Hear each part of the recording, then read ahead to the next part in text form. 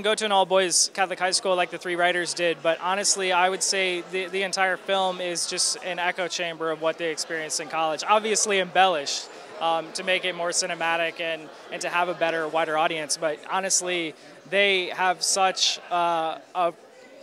There were so many scenes that they could have that they could have made and, and, put in the film that obviously got cut. And so all almost every experience that's in the film is, is some version of what happened in reality while they were attending an all, all boys Catholic high school. And then what are you excited about the most about this film tonight? Honestly, I'm excited for people to finally see it. We, we shot it in 2021 during COVID, and it was honestly a slog. It was incredibly tough. Uh, we, we faced weather challenges, COVID challenges. Um, obviously, getting all of our talent here to Chicago during COVID was was a monumental task in of itself, especially for an independent film. So I'm excited that it's you know it's a Chicago born and raised film. We got to shoot it here. We got to bring it back and premiere it here. That's what I'm most excited about. That's very cool to see like Chicago is finally you know be on the radar for the film industry again. So um, this is a really well assembled cast. And what's the uh, casting process for this film? You know, that's really interesting. And, and you might notice in the credits, we didn't have a casting director. And we relied entirely on sort of our personal connections as well as who we felt was right for the film. And there was only a few roles that we officially cast for. And so a lot of these are just friends of friends and honestly just happened to be the best fit for the part. And we approached them directly um, without even a casting director. Um, it's my high school. We filmed it at my high school, and it was um, an absolute dream come true. It's you know inspired by my high school. I loved my high school, Notre Dame College Prep in Niles, Illinois. So it meant the world to film it there.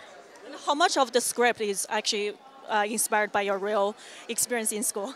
You know, a, a lot of it, everything's inspired by some truth, and then we exaggerated it all. But I think the characters, Leo, Sean, and Jack, are definitely deeply rooted in me and the writers. Um, we've high school is a roller coaster, so yeah, we definitely put a lot of heart into it.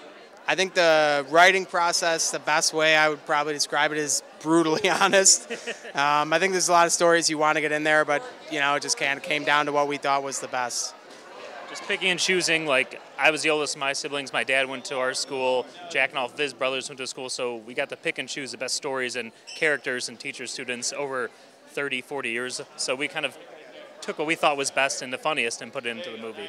You know, we tried to change as little as possible. I think um, for just the sake of you know limiting the destruction, we we probably changed a few things, but um, we tried to stay as true to life as the stories we knew for the most part rooms are hot, a little bit dirty. There's about 30 to 40 boys jam packed in there every day. Uh, we really want the audience to feel that, so we change as little as possible. Can you tell us a little bit more about your role for this film?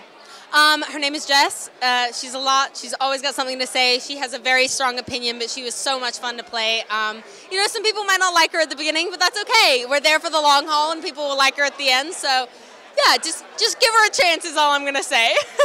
I'm excited for everybody's reactions. I mean, we worked so hard. We had a lot of long nights, a lot of a lot of late night shoots to see my dancing. Yeah, I throw it down on the dance floor, and it's pretty awesome. So. Is there any hint, like, for what type of dancing we're going to see on the screen? Some crazy dancing. I, I have two left feet at this point, so um, yeah, I get a little wild. I get a little protective on the dance floor. So Did you get professionally trained for the no, dances? Absolutely not, and you can tell. It is it is all me. It's all improv on the fly. So like I was homeschooled and I have traveled around for, for schooling, but I think some of the clique mentality in my character Jess definitely has some resemblance to some mean girls in some schools. So yeah, she was really, really fun to play, but also I feel like hopefully I'm like the polar opposite of her. So um, Ash and I, she's over there. I don't know if you spoke to Ashley, but like we got so delusional when it was like three in the morning and we're still shooting and we just be in our trailer just dancing the music or you know, we'd go on Target trips because that was the only thing close by. Nick and I would just like run to Target 24 7 and just like buy the most random things. I think there are nights where, you know, we all had a little bit to drink and made tacos on my hotel room floor. So, yeah, we all had the best time filming together. We're all like so close now. And yeah, we hang out all the time. And hopefully they didn't, you know, fill you up with all the like deep dish pizza from Chicago. Oh my gosh, you know what? I gotta say it. And you know what? Chicago people really might not like me for this one. I didn't like deep dish pizza. It's so much, and I really tried to like it, but I just don't. I just don't, and that's okay. As an Italian at heart, I'm like more a fan of the Neapolitan pizza, so I'll stick to that. You guys can have your deep dish. Ryan is the head cheerleader, the super popular girl that's cute but doesn't really know she's cute, and who's obsessed with Leo, and you know gives them a little too many chances. Uh, I play Sean in the movie.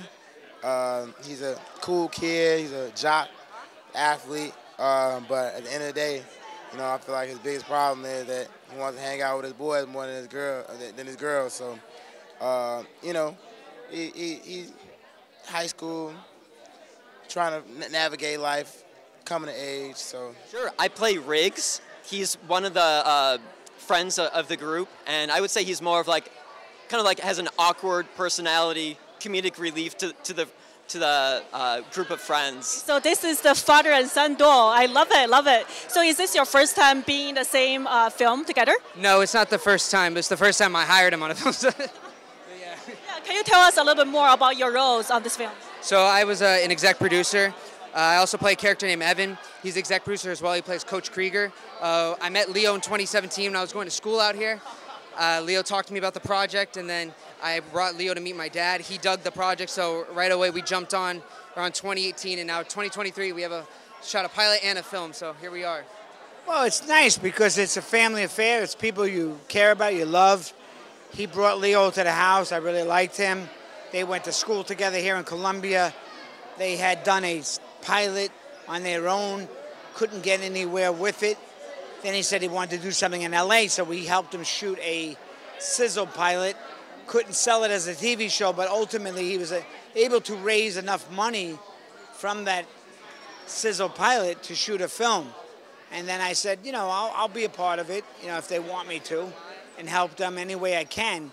So uh, here we are. He it was his dream to be a TV show, but it became a film, and who knows? Maybe now we'll start from a movie to maybe it'll become a TV series. So it's a funny journey how things happen, but it's uh, pretty amazing when you you know want to do something and and it becomes a reality. But it was a long journey for him, and we were a big part of it to help him, and uh, and still are. After we after we wrapped, we sat in the basement of our hotel for about three hours, just reminiscing on stories and drinking and just having a great night.